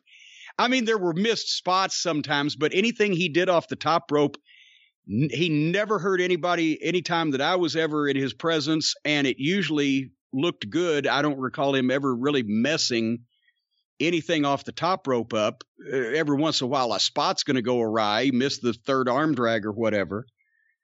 But um, well, it, the the match, and I'll tell you, here's and this. Uh, I think it was Dax. It may have been Cash too, but both of them tweeted out that their favorite midnight match was because they're tag team specialists, and this was a as far as a tag team match goes, this was probably better than anything with the rock and roll from a pure technical standpoint. Rock and roll just brought so much emotion from the people. But the one hour that we did on Worldwide Wrestling, the U.S. Tag Team title match, where they beat us in Chattanooga, it was the whole hour. It was a 40 something minute match, but it went the whole hour of the syndicated TV show.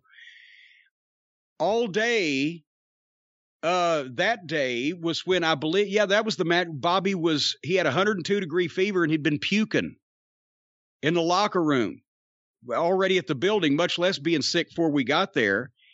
And that's the big time where Dusty is cuz Dusty would only do the one match goes the whole show with people that he not only trusted to do it, but people that were really figured in, he wanted to get something over. Nobody got that much time on TV in those days except Ric Flair or the Midnight Express. So he wasn't going to fucking say, no, can we do it in 20 minutes? So he went out there after he had been puking and had a fever and had, what was it, voted third best match of the year in three different bulletins or whatever the fuck. And it's still the favorite match of tag teams today but that's just because he wasn't going to fucking let anybody down. And he never did. And anyone who saw the Midnight Express or Bobby Eaton wrestle, it's always a memorable experience. And I only got to see Bobby live once, and it was memorable because it was Philadelphia, an awful show, Halloween Havoc 92. And the opening match was the babyface this poor team. Tom Zenk, Shane Douglas, and Johnny Gunn, Tom Brandi. Oh. Who that Philadelphia crowd just loathed. And then out to Bad Street USA, Michael Hayes, Arn, and Bobby. And it was like a, you know, other than Hayes, who people like because he was the Freebirds, but Arn and Bobby had that Philadelphia history. It was like a homecoming. It was, the place went nuts for Arn and Bobby and Hayes. You know, I, th- I think that's the last 20 years or however long it's been. And I mean, Bobby's been going and he's been doing independent shows. He obviously hasn't been able to wrestle for the last several years, but he'll make appearances, do fan fests. He's done seminars. And I just think that I wish that he could have had something to transition into. I think he lost something when he couldn't wrestle anymore. That he couldn't he couldn't get back in his life. I mean, he loved his grandkids, he loved his kids, and he's he was you know you'd always see him happy. One of the younger guys mentioned, "Hey, I saw this legend Bobby Eaton a few years ago come into this podunk town." And it was just like he was happy as to be there as he was happy to be anywhere in his whole life. It's because he was he was in the locker room and he came to a wrestling show. And I mean, I'm not going to tell you that he didn't either laugh or roll his eyes at all the things that's going on with wrestling. Bobby never really knocked anybody, but he, you know, it wasn't the business he got in. He wasn't the business that he grew up on or whatever, but he was, he just wanted to be a part of wrestling and be that you know when you do that uh, from the time he was 16 like i said you go to the locker room you hang out with the boys you have fun and you go out and you be the best in the world at what you do it it just hadn't been the same on him and i don't think he had anything else in his life to transition to on a professional basis or a, otherwise in his family that that eh, you know he either had the aptitude for the or the interest in or just the you know it just it, it seems like when somebody is that far ahead of almost everybody else at one thing that they do, sometimes, you know, it's a shortcoming that they don't have uh, something else to fall back on. Um, but I think he's missed that because still, you know, you, if like he, I've got messages where he, I've still got him on my voicemail and, and I won't erase them where he would, call me. If, he wouldn't call me say, Cornelius Bobby. He'd call me and say, Jim Cornette is Sterling Brewer, who was the announcer for the Birmingham TV in the 70s that nobody in the world but me and him still remembers. Or he'd, if he'd call it Cordy, how big's George Holtz? I'd say 6'6, 276, because that's the way the big George Holtz was announced in 1974 in Birmingham, or whatever. Um, and he was the first. Was he the first person to call you corny? Yes, corny or corn, and then Stan uh, elongated it to Cornelius J. Cornette. Uh, but yeah, corn. Hey, corn. Uh, but yeah, you know, he he eh, eh, eh, he'd just call you on the phone and just it would be something that would pop me and him, but nobody else would get it. But that's what he did in, in his time at home these days, or you know, before he was had his grandkids around, that was the happiest he'd get. He'd be sitting with a some you know bubble gum and a, a bottle of pop and watching wrestling on TV, whether it's old wrestling or new wrestling or whether it's something with a ring. And but anyway, I was I talked to him Saturday afternoon and he sounded like himself. I talked to him the previous what was it Wednesday, and he obviously was not happy about being in the hospital and didn't seem to feel too good. But Saturday he was perky and he sounded like Bob. And I was trying to pump him up a little bit because, you know, with Donna just going and uh, being in turmoil. And I think that had a lot to do with it. Probably as his routine, his schedule got all upended. People coming and going and, and, you know, Bobby never let anything get on him or le- never bother him outwardly. I mean, one time I'll, I'll back this up and I'll come back to the talk on Saturday in a second. But when he was living in Charlotte, in Pineville, down the street from Arn and me, I went over there one day, and this when he had all three kids. I think I was setting up Smoky Mountain, but I hadn't moved to Tennessee yet. And I pull up out in front of his house, and he oh, he had a couch and, and an easy chair on his front porch, so he could sit out on the front porch when he was home, right? And he they had a couple cars in the driveway, and I guess there's Dylan. Uh, what Dustin, his oldest, was on a skateboard, and Donna had Elvis music playing and a speaker in the window, and Taryn was playing with some of the neighborhood kids, and and Dylan, the little one, was something else was going on, and, and there was some dogs running around. It was like the center of activity in the whole neighborhood. I said, and he's just sitting there drinking his beer. I said, Bobby, when do the dancing bears show up? What the fuck's going on here? It's a goddamn concert and a garden party. It just, and it, but he just sitting, you know, having a good time. But so Saturday, I was trying to, you know, uh, pep you up a little bit, getting out of the hospital, take care of yourself and take your medicine because I was going to talk about this later on, and I will talk about it later on another time. We were making plans for some stuff for the Midnight Express's 40th anniversary, which is going to be 2023 and was going to be 2023, 2024.